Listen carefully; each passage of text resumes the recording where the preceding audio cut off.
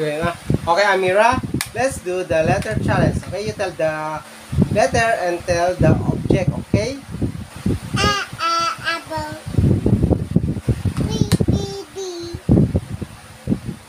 B, A, dog. B, A, dog.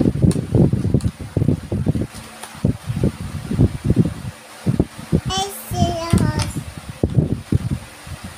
B, A, dog.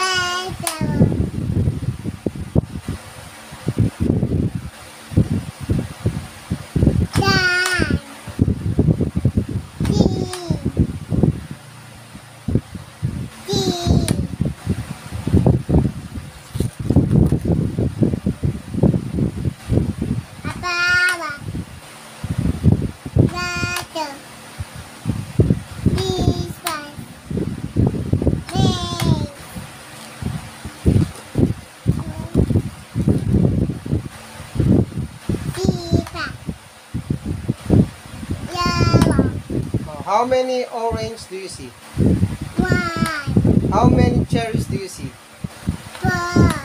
How many banana do you see? Three. How many strawberry do you see? Two. Wow, very good.